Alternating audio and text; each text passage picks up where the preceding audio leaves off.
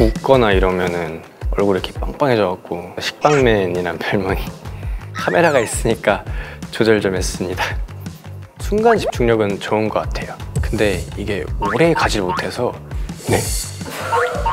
저만 이해 못하고 있나요? 하는 걸로 하고 있어요.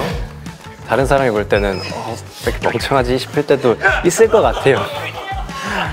근데 그것도 춤추는 분위기에서 몰입을 확 하는 스타일인 것 같아요. 제가 몰입했을 때 보는 사람도 집중을 하시니까 최선의 결과가 나오는 것 같거든요. 저는 한국무용을 하는 박준호라고 합니다. 제 춤은 한국무용만의 호흡들과 손사위들, 부드러운 움직임을 구사하는 것, 무대라는 공간을 채우는 에너지도 자신이 있고 그게 제 매력이라고 생각합니다. 제가 나왔습니다. 다들 긴장하세요.